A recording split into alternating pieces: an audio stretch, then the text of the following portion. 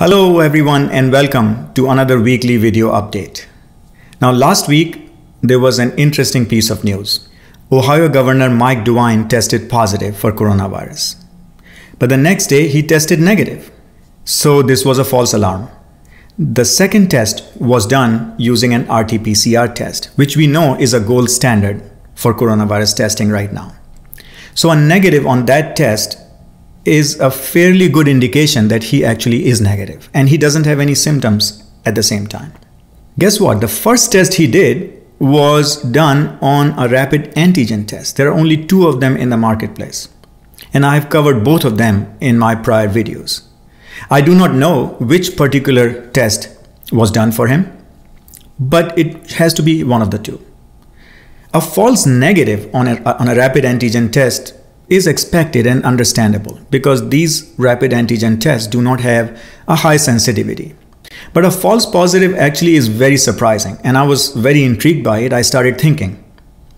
And I put together a few ideas and thoughts in this particular video, but I would love for you to share your thoughts and expertise in your comments so all of us can understand this a little bit better. So let's just take a look at what I came up with and maybe we understand this mystery a little bit better. Uh, just free thinking, brainstorming about potential causes for false positive results. Contamination comes to mind first. The swab may be contaminated, the reagents may be contaminated, and the testing area might be contaminated, and this contamination can transfer to a sample being tested, so the result may be positive. The reader can malfunction. Maybe the display is wrong. Maybe the analyzer is not working properly and displaying a wrong result. Use error has a lot of possibility.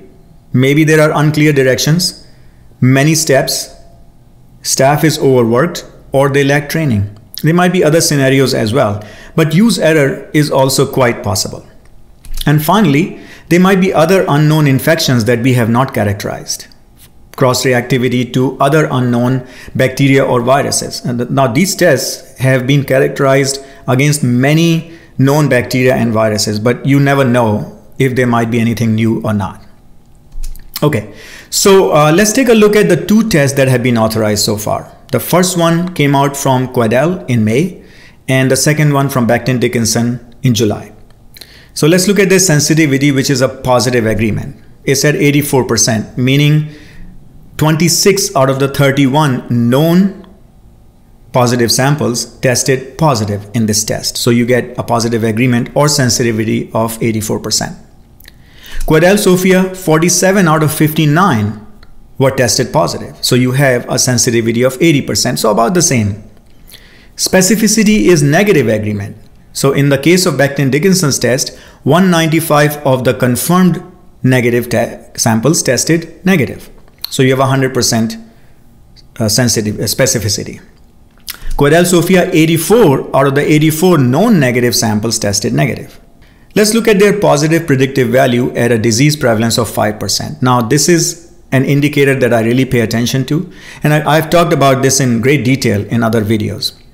For the Becton Dickinson test, it's at 100% because guess what? Specificity being 100%, there are no false positives. Quidel Sofia is also at 100%, no false positives. NPV is negative predictive value and that's at 99.7 and 98.9. So on the surface, these numbers look very good. And of course, this data was used by the FDA to authorize these tests to go forward, knowing the benefit risk ratio. So uh, think about what happens if specificity is not 100%. Let's say instead of 84 out of 84 testing negative, we just have one false positive or two false positives. What happens? What happens to our positive predictive value? So I did this analysis in this next chart.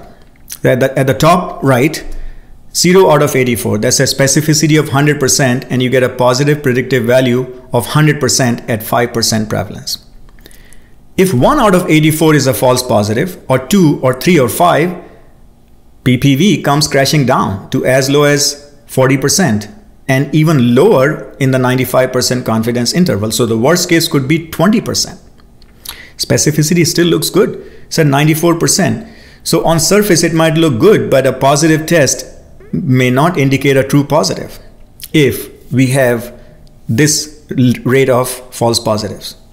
Now we all know that limited amount of testing was done in the beginning, right? And it all looked good. This is what we mean by monitoring real world performance. Good news is that this information is available on FDA's Adverse Events Reporting website, MAUDE, and I did go there. And sure enough, there have been reports of false positives over the last couple of months. It wasn't until Mike DeWine's false positive that we learned about this. So it's not really open public information. Someone has to go digging into this. We have to do better to understand the real world performance on these tests and maybe apply more controls to make sure they are working accurately. Accessibility to testing is very, very important, very critical. However, inaccurate tests are also not very useful. And FDA knows that. I think they look at the benefit risk. Keep in mind, benefit risk evolves over time as new information becomes available. So they should require more controls. And in, in extreme situations, and they have done so, deauthorize, delist some of these products from the market because it's it'll do more harm than good. So I hope things will get better, but the bottom line is we have to monitor the real world performance of these products and take appropriate action.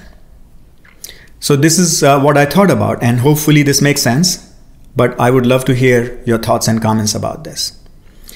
Because together we can learn more from each other. You may have expertise or insights that I may have missed or I may have done something incorrectly. So just let me know. I welcome your thoughts and comments. Stay connected with me. Let me know what's on your mind. Subscribe to my YouTube channel and share these videos with friends because I've been making them on a weekly basis mainly from the purpose of informing people in a, in a deeper way, which makes more sense to all of us. And I'll show you very quickly how you can find my YouTube channel. You can go to YouTube and look for Exceed QM Naveen Agarwal PhD and my channel will come up. Or you can follow me on LinkedIn because whenever I post a video, I also give you a link back to my channel. Please let me know what's on your mind, any questions or any topics, COVID related topics or other medical device related topics you want me to talk about. I really want to thank you for your support and encouragement and attention to these videos. I really appreciate that. And finally, I hope all of you are staying safe.